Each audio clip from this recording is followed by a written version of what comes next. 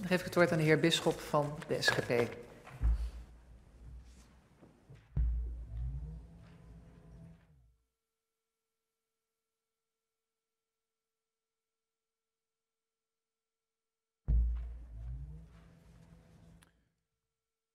Voorzitter, dank u wel. Ik voeg mij graag bij de collega's die mevrouw Rechterschot feliciteren met haar mooie media speech. Waarin een, een beetje inkijkje wordt gegeven, werd gegeven in de motivatie. Fantastisch. En ook uh, de collega's bezuiden de grote rivieren uh, van harte gefeliciteerd met je meerderheid vanavond. Maar reken je niet rijk, want ik kom uit Staphorst. En dat is voldoende tegenwicht, lijkt me zo. Voorzitter, ik wil een aantal punten naar aanleiding van uh, deze aanvullingswet bespreken. Allereerst het punt van de onteigening.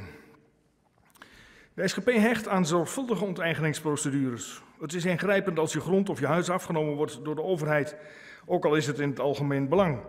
Het eigendomsrecht staat niet voor niets hoog aangeschreven in het Europees Verdrag voor de Rechten van de Mens. Al doet het voor mij als historicus wel een beetje pijn dat een wet uit 1851 op de schop genomen wordt. Ik kan dat wel billiken. Je proeft bij juristen wel grote vraagtekens bij het voorstel om de route via de civiele rechter te verleggen naar de bestuursrechter. Het blijft een beetje een vreemde eend in de bijt in dat opzicht. De Algemene Wet Bestuursrecht wordt, gelukkig, niet één op één gevolgd. Tegelijkertijd wordt de onteigeningsprocedure nu losgekoppeld van de schadeloosstellingsprocedure die via de civiele rechter blijft lopen. De minister veronderstelt tijdwinst. Maar experts waarschuwen dat het eerder andersom zal zijn. De drempel voor incassatie gaan is hoger dan voor het aantekenen van hoger beroep. Er zal ook in het bestuursrechtelijke spoor tijd nodig zijn om een dossier compleet te krijgen voordat het ter inzage gelegd kan worden. Graag een reactie van de staatssecretaris op deze kritiek. De minister kiest voor rechtsbescherming in twee instanties en laat de omvang van de toetsing over aan de rechter. De Raad van State adviseert om te kiezen voor rechtsbescherming in één instantie, namelijk bij de Raad van State, en om de gewenste volle toetsing in de wet vast te leggen. Het zorgt voor snellere procedures en geeft eerder duidelijkheid. De inhoudelijke expertise kan zich ook concentreren bij één rechtbank, waardoor betere toetsing mogelijk is. En ik, ik, wij vernemen van juristen zelfde uh, opmerkingen, zelfde commentaar. En verder doet de volle toetsing recht aan de waarde van het eigendomsrecht. Maar de minister wil het niet. Het zou afwijken van de procedure van de Algemene Wet Bestuursrecht. Ons pleidooi is, kies voor de inhoud. En de vraag aan de staatssecretaris is, waarom kiest de minister daar niet voor? De SGP vindt dat we ten alle tijde moeten voorkomen dat iemand onteigend wordt zonder dat hij het zelf doorheeft. Bijvoorbeeld omdat hij of zij in het buitenland verblijft. Het wetsvoorstel biedt hiervoor minder waarborgen dan de huidige onteigeningswet. De deurwaarder wordt ingewisseld voor brievenbuspost. Is de minister bereid om te kijken hoe ervoor gezorgd kan worden dat de huidige waarborgen voor tijdige inkennisstelling gehandhaafd blijven? En um, op dit punt hebben wij een amendement ingediend. Dan het volgende punt, de grondexploitatie. SGP heeft nog wat vragen over de nota van wijziging waarmee een bepaling is toegevoegd om financiële bijdragen aan ruimtelijke ontwikkeling expliciet mogelijk te maken. Een belangrijk principe in het omgevingsrecht is dat de kosten van bijvoorbeeld de aanleg van infrastructuur of andere bovenwijkse voorzieningen verhaald kunnen worden op een projectontwikkelaar, in zoverre die kosten terug te voeren zijn op het project en het project er baat bij heeft. Daarnaast kan een projectontwikkelaar een financiële bijdrage leveren voor andere ruimtelijke ontwikkelingen, maar dat is dan altijd op vrijwillige basis, formeel. Het is niet de bedoeling dat dat afgedwongen kan worden, maar in de praktijk zien we dat wel gebeuren. In het oorspronkelijke wetsvoorstel had de minister de bepaling met betrekking tot de financiële bijdrage weggelaten, omdat onderzoek leerde dat het geen toegevoegde waarde heeft. Wij constateren dat via de nota van wijziging de bepaling alsnog wordt opgenomen, volgens de toelichting, om de huidige praktijk voor te kunnen zetten. Voorzitter, dan is de vraag, waarom is die toegevoegde waarde er nu opeens wel? Graag een toelichting. Of is het de bedoeling om alsnog de, een gedwongen financiële bijdrage mogelijk te maken? Dat zou in strijd zijn met de principes van kostenverhaal enerzijds en vrijwilligheid anderzijds. Graag een toelichting. Blijft de minister bij een vrijwillige financiële bijdrage en blijft ze weg bij de betaalplanologie? Dan het punt landinrichting, voorzitter. Het instrument landinrichting wordt niet zo heel vaak toegepast, maar het eh, kan waar nodig wel een belangrijke rol spelen. En daarom is het goed dat het instrument in de wet komt. Een paar vragen over de vormgeving. In de praktijk blijkt het lastig te zijn dat je naast de landinrichtingsprocedure ook de andere ruimtelijke ordeningsprocedures hebt die doorlopen moeten worden. Dat gaat niet altijd gelijk op. Gelijk op. In plaats van te kijken hoe het beter op elkaar afgestemd kan worden, kiest de regering ervoor een nieuwe knip te maken tussen het landinrichtingsprogramma en het landinrichtingsbesluit. Dat klinkt misschien mooi, maar in de praktijk brengt het ons niet de gewenste integraliteit. Integendeel. Is de staatssecretaris, dan wel de minister, bereid in overleg met experts en belangenorganisaties te kijken hoe we het, land, het instrument landinrichting zo goed mogelijk op de praktijk kunnen laten aansluiten.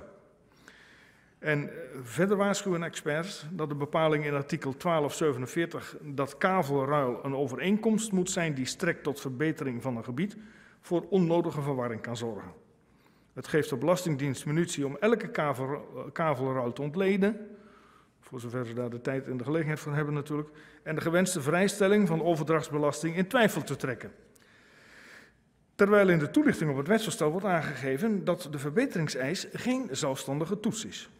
Is het niet beter om dit bewuste artikel 12.47 te schrappen? Voorzitter, tot slot nog even uh, aandacht voor het voorkeursrecht. Met het omgevingsplan zullen gemeenten verder vooruit gaan kijken en zich wellicht, wellicht ook actiever op gaan stellen. En dat is op zichzelf een hele goede zaak.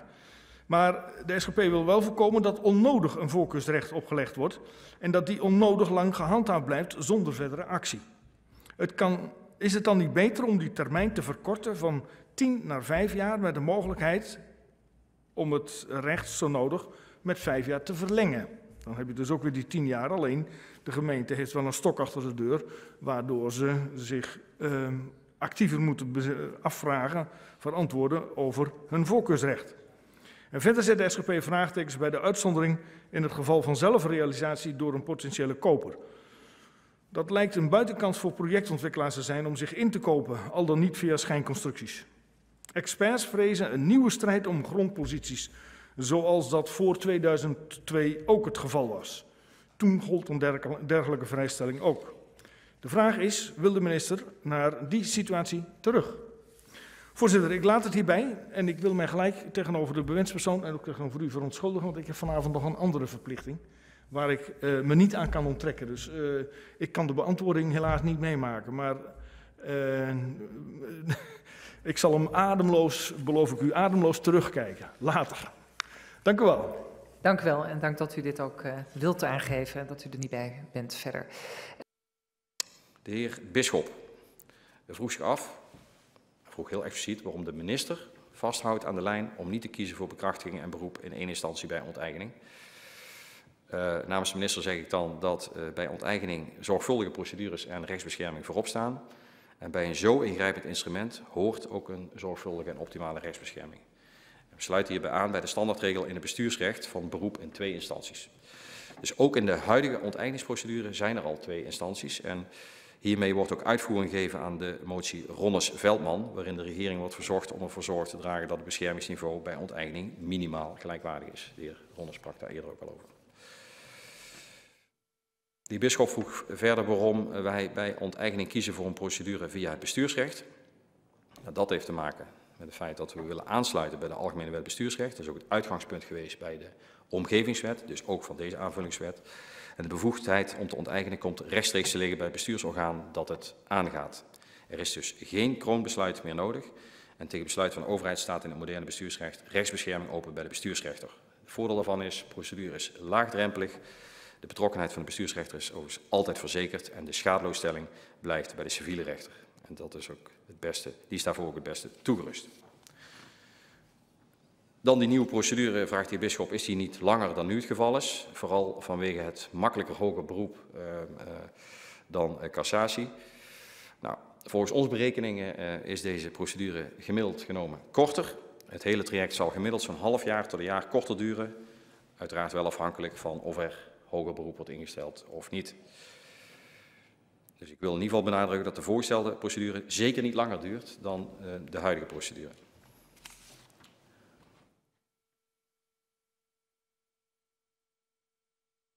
De heer Bisschop, uh, die vroeg of ik erbij blijf dat, een, uh, dat ik bij een vrijwillige financiële bijdrage blijf en dat ik wegblijf bij de betaalplanologie. Nou, dat is bijna een retorische vraag, want uh, niemand is voor betaalplanologie.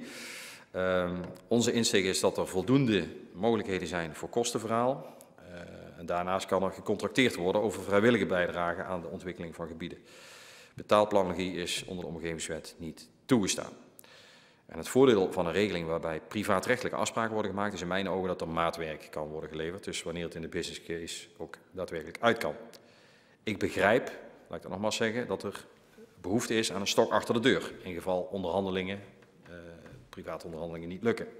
En dan kan die bijdrage alsnog publiekrechtelijk afgedwongen worden. Ik zie daar inderdaad mogelijkheden voor, dus daar klinkt al enige sympathie uh, voor, het, uh, voor het amendement. Uh, maar ik denk dat er wel voldoende afbakening moet zijn om te voorkomen dat er onredelijk hoge bedragen zouden worden gevraagd. En dat, dat vergt ook een zorgvuldig proces, naar mijn idee. De heer Bisschop vroeg zich nog af waarom er uh, nu ineens wel een toegevoegde waarde is voor het continueren van artikel 6.24 van de WRO. En dat gaat over die privaatrechtelijke bijdrage. In gesprekken met gemeenten, provincies en de VNG bleek een sterke behoefte bestaan om de regeling te continueren. Zeker gezien de enorme, en ik zei het al, steeds complexer wordende opgaven waar gemeenten voor staan. En om te voorkomen dat gemeenten alleen de kosten moeten dragen van uh, uh, gemeentelijke gebiedsontwikkeling.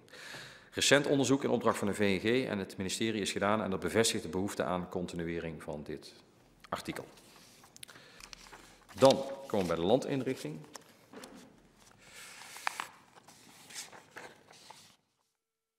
De heer Bisschop vroeg zich af of ik bereid ben met experts en belangenorganisaties te kijken hoe het instrument van de landinrichting zo goed mogelijk op de praktijk kunnen laten aansluiten.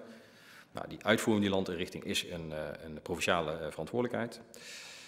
De aansluiting van het inrichtinginstrumentarium op de ruimtelijke ordeningsprocedures is onderdeel van het gebiedsgerichte beleid wat de provincies gaan voeren. En dat kan op grond van dit voorstel integraal en in afstemming op ruimtelijke ordeningsprocedures.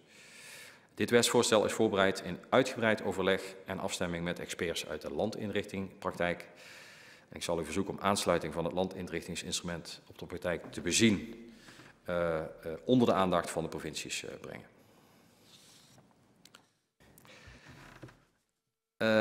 Amendement 27 zijn we inmiddels gekomen van lid Bisschop. Dus we gaan even terug, 29 hebben we gehad, 27. Uh, waarbij hij voorstelt om uh, uh, volle toetsing te doen van de onteigeningen door de rechter, in plaats van marginale toetsing. nou, ik heb er eerder in het debat al over aangegeven dat ik echt vind dat dat aan de rechter zelf is, dat dat ook de hoofdregel in het recht is. En dat ik het vastleggen van deze verdere toetsingsmaatstaf niet nodig vind. Dus ik moet dat amendement ontraden op nummer 27. Amendement 27 wordt ontraden.